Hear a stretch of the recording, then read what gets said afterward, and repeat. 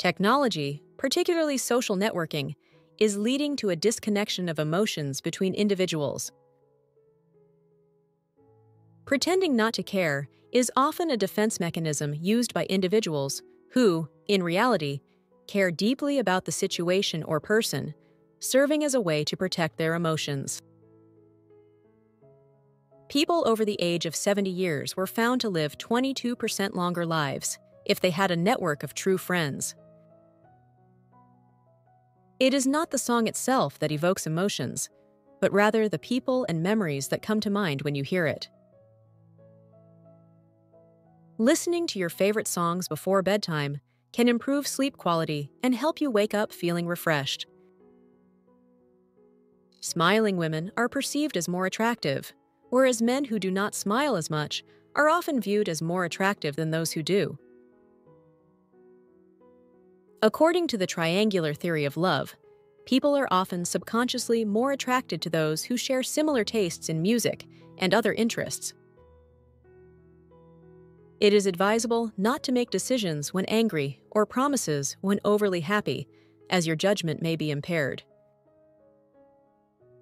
Laughing has been shown to reduce stress hormones in the body and boost the immune system by releasing health enhancing hormones. People who masturbate daily have a higher chance of fatigue, weakness, early ejaculation.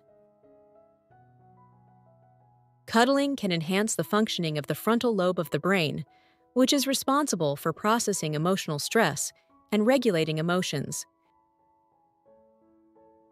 A woman is more likely to argue with someone she genuinely cares about, as it shows she's invested in the relationship and willing to express her feelings.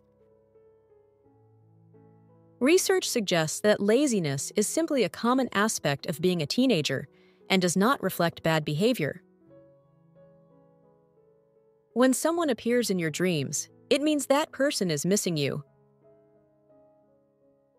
when humans feel that they don't have enough resources such as love, money, time, and food, they are less likely to make wise decisions. When someone is always in your mind without any communication, it means they are also thinking. In dreams, every person you see has been encountered at least once in real life. Our brain cannot create faces, when you start liking a person just because they like you, it is a psychological phenomenon known as reciprocal liking. Psychology says the wedding ring goes on the left ring finger because it's the only finger with a vein that connects to the heart. People are more honest when they are physically tired. That's why most people confess things during late night conversations.